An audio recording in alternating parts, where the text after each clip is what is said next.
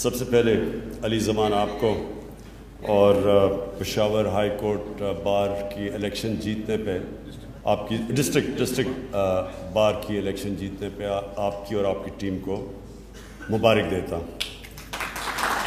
और मैं उम्मीद रखता हूँ कि जो चौदह मई को हाई कोर्ट बार एसोसिएशन का इलेक्शन होगा, उसमें आप पूरी तरह शिरकत करेंगे और इन इसी तरह जीतेंगे जिस तरह आपने पेशावर डिस्ट्रिक्ट बार की इलेक्शन जीती। देखिए, मैं आपके ख़ास मैंने दरख्वास्त की कि आज मैं अपनी वकीलों को मिलूं। और उसकी वजह कि जो पाकिस्तान मूवमेंट के नज़रियाती लीडर थे, वो इलामा इकबाल थे, वो भी वकील थे, और जिन्होंने वो मूवमेंट लीड की, मेरे लीडर कायद अजम वो भी वकील थे।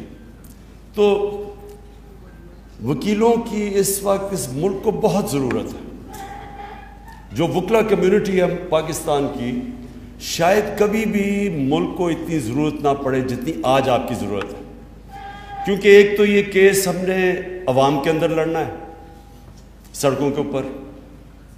और दूसरा, हमने अदालतों में लड़ना है।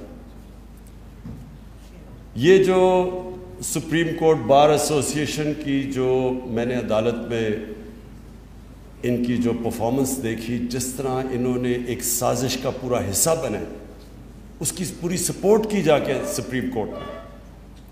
यानी मुझे इतना अफसोस हुआ देख के कि किसी को भी अगर पता था कि ये बाहर से साजिश हो रही है और ये किस तरह हमारे मीर जाफ़र और मीर सादिक ने मिल के एक इलेक्टेड गवर्नमेंट को गिराने की कोशिश हो रही थी तो कम अज़ कम वकला को तो सबसे ज़्यादा शौर होना चाहिए था।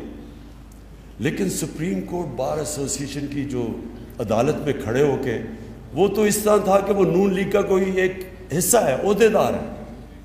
और बड़ी मुझे अफसोस हुआ कि जिन लोगों को शूर है, वो भी इस इस साजिश का हिस्सा बन गए। क्योंकि ये जो मरासला था या जो वाइपर, जो साइफर था जो जिसके ऊपर ये सारा साजिश सामने आई, जो बाहर के उनका जो अंडर सेक्रेटरी था और हमारे एम्बेसडर के बीच में जो गुफ्तगु थी तो वो तो हमने जब एक दफ़ा मंजर आम पे ले आए तो सबको पता चल जा रहा था कि ये रजीम चेंज बाहर से किया जा रहा है और अंदर से ये मिले हुए थे उनके साथ। ज़्यादातर तो इनकी जमातों को नहीं पता, जितनी भी जमातें इनकी सपोर्ट कर रही हैं, ज़्यादातर तो उनको नहीं पता।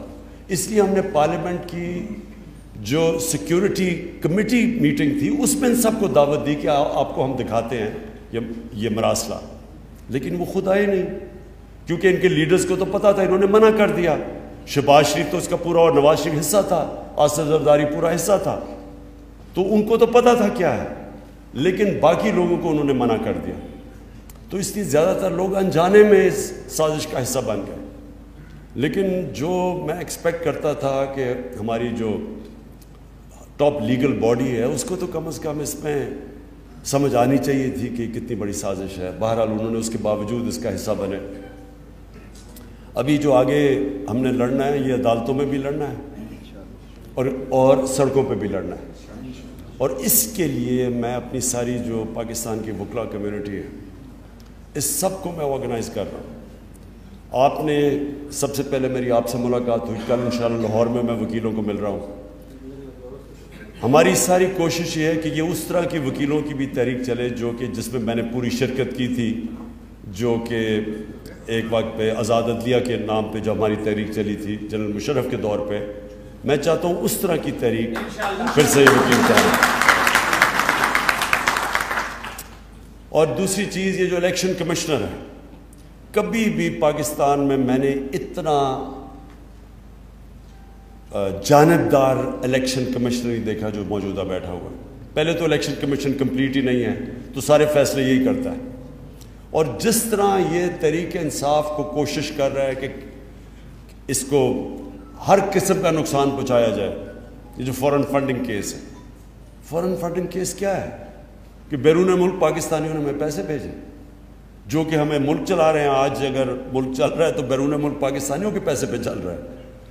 इकतीस अरब डॉलर उन्होंने बाहर से भेजा, वो ना भेजें तो सोचेंगे आईएमएफ से सिर्फ़ छः अरब डॉलर हमने हमने कर्जा लिया। इन्होंने इकतीस अरब डॉलर भेजा है। तो इस पे तो पाकिस्तान चल रहा है। तो हमारी भी बहुत बड़ी, बैरून मुल्क पाकिस्तानी, हमारी बहुत बड़ी सपोर्ट है। तो ये जो इस वक्त हो रहा है, ये जो इलेक्शन कमीशन कर रही है कि बाकी दो पार्टीज़ के केस नहीं सुन रही। सुप्रीम कोर्ट ने कहा कि तीनों के इकट्ठे सुनाओ उनके सुन नहीं रही और हमें बार बार कटेरा में खड़ा किया हुआ है और तासर यह दी जा रहा है कि जी तरीके इंसाफ ने कोई बहुत गैर कानूनी चीज़ की है, जो नहीं की, जो साबित हो जाएगा जब भी हमारे सब इकट्ठे मिल के केसेस सुने जाए। लेकिन मैं ये चाहता हूँ कि आपकी मुझे हेल्प चाहिए होगी।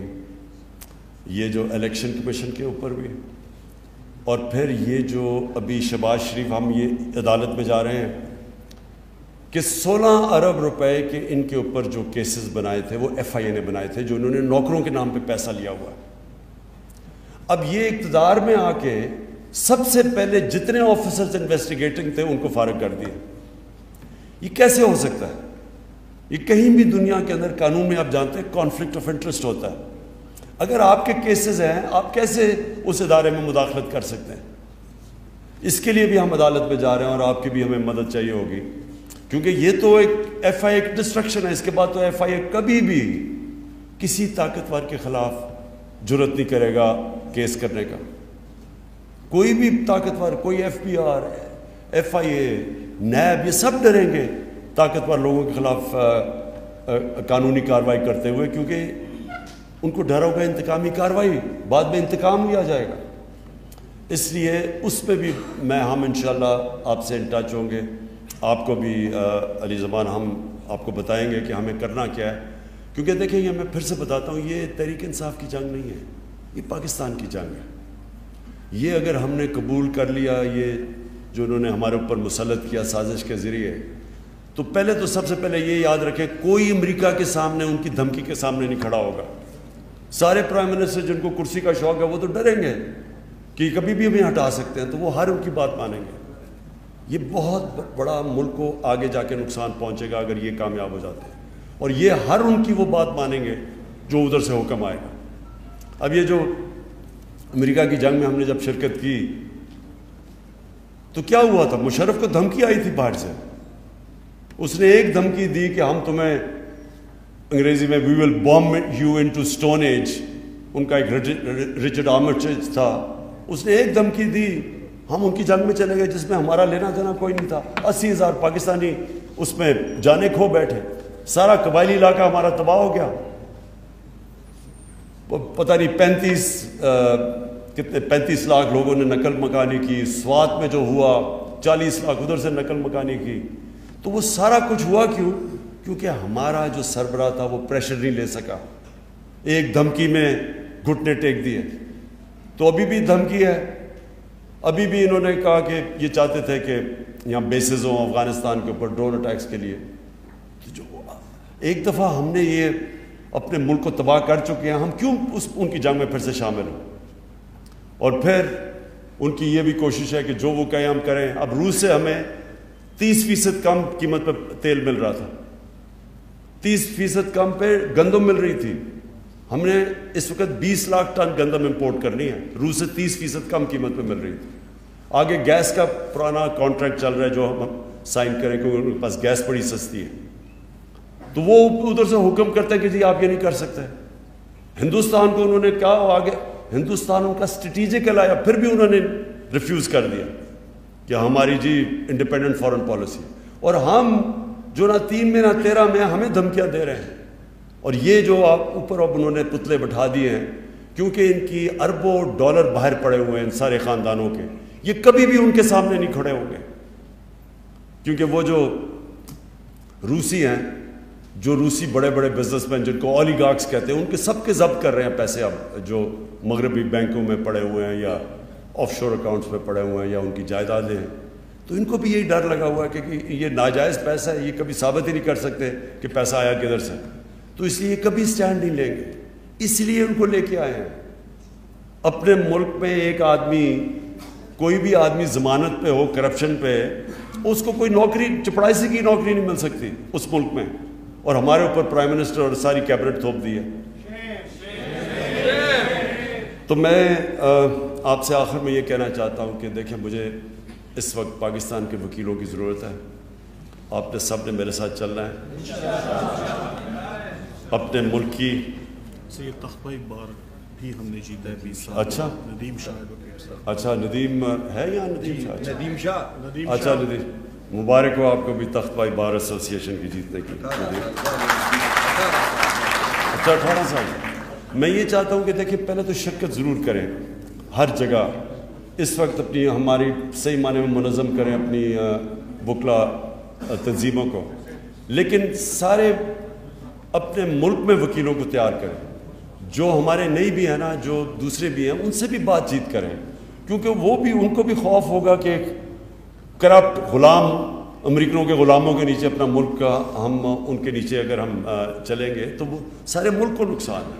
तो इसलिए मैं अ, मैंने अ, कहा था महमूद खान को और शाह फरमान को कि ज़रूर मेरी आज बुकला से मीटिंग करवाएँ और हम ताकि आगे ये जो आने वाली तहरीक चल रही है, इसमें आप पूरी तरह शिरकत करें और उसी तरह की शिरकत जिस तरह आपने वो बहुत बड़ी वकला तहरीक पे की थी जो आज़ाद दिया के लिए। शुक्रिया